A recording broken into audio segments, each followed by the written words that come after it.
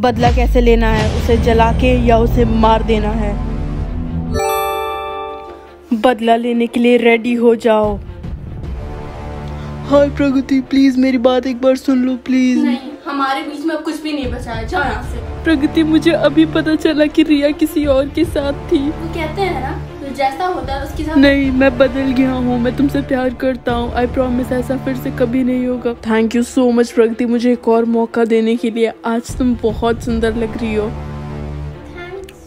यार सच में ये खाना बहुत टेस्टी है। आई एम ग्लैड तुम्हें ये सब पसंद आया। मैंने ये सब स्पेशली तुम्हारे लिए बनाया खुद से। वाह मुझे नहीं पता था तुम इतनी अच्छी कुक हो। अरे मेरी फेवरेट ड्रिंक भी है यहाँ पे। चलो अपने रिलेशन के लिए चेयर किया जाए। To us